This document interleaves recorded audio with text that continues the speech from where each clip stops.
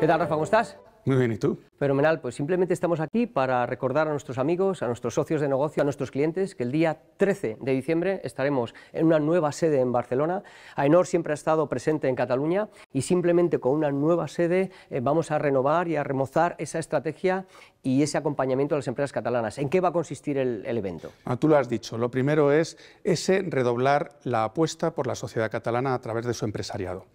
Gracias a la invitación que, han hecho, que ha hecho Sánchez Libre y todo Foment para que estemos en su edificio, nosotros estamos encantados de poder encontrarnos allí con todos nuestros clientes y con todos los que quieran ser clientes de Enor en Cataluña.